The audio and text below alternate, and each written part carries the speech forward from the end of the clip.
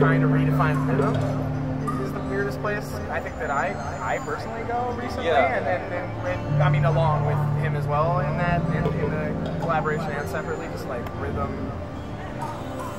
I mean, Yeah. I think what really floats our boats lately is like dynamics, Yeah, and, and the ability of things to sort of to like unfold and then like change very quickly, and and not to be, you know, like in the groove to sort of exist like on some other plane above all of it, you know, because something that is like that is like creating itself spontaneously at every moment and can literally just fall over and break into five pieces, and each of those five pieces come back up and start spinning, you know, and so just like, and, and that takes, I think, a lot of uh, like trust between improvisers and also a lot of like I mean, Experience. Yeah, you think it's like we we're invested a lot lately in like systems, like music systems, like trying to build systems.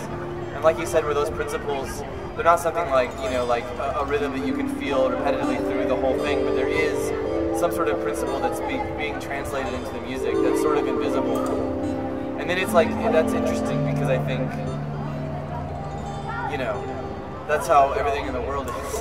Yeah. It's like a like an invisible system, you know, and, and like and being able to, to distinguish like the principle, even though it's like appearing in a way that you've never heard it before.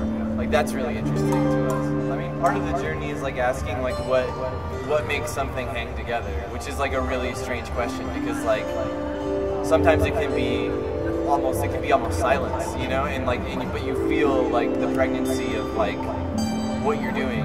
And sometimes you're doing a lot of stuff and there's nothing to it that, that is unified, you know? And so it's like that that trying to discover that principle is like really really mean that's sort of like what the work is when you're when you're improvising. And then also that's it's powerful as you learn to find it and gain the confidence to like sort of calm yourself and like look for it because that is about gaining freedom, you know, from having to use these other sort of scaffoldings to make you to sort of like give your brain or give your you know whatever part of yourself you're using to play music like sort of a some sort of program to follow. If you can, if you can like start to remove that that need and like see sort of like like he's talking about in these folk musics, if you can feel that pulse that they all feel in that, that allows them to play like completely like contrary to the actual rhythm.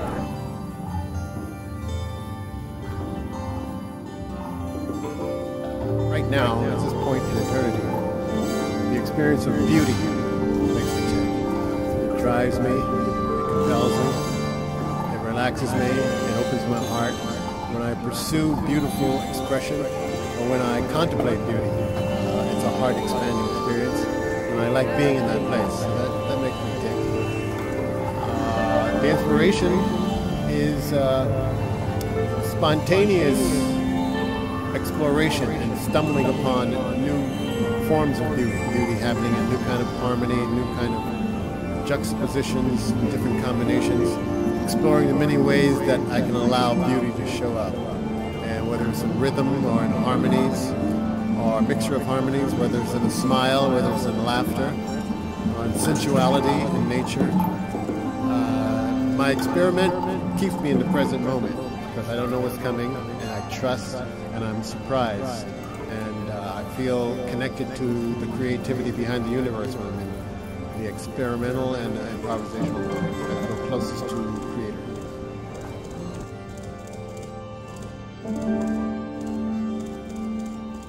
you know, there's no groove to lay back in and to sort of like just like you know kind of push along. You're, you're like every every move that you make is like a structural move, and to me that is like the most exciting kind of playing. But it's also like it's really it takes a huge amount of focus and it's like I said it's very high stakes because the whole thing can topple over immediately.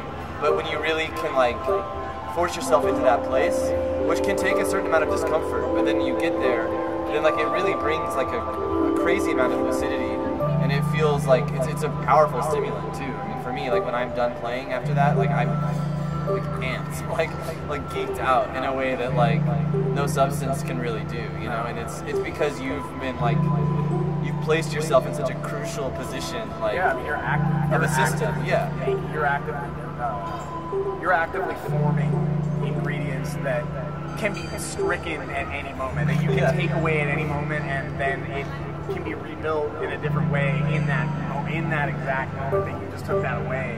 Right. You know, you need to be listening or you need to be like present enough to where you can like react to that space, like that space.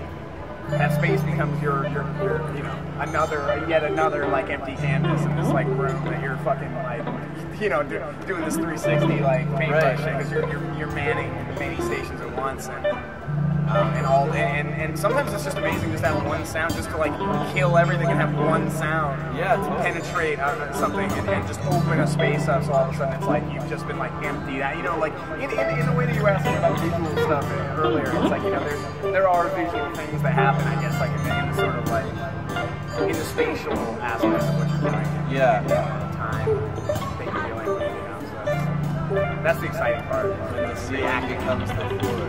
exactly When the ceiling And vice becomes- versa. yeah mm-hmm.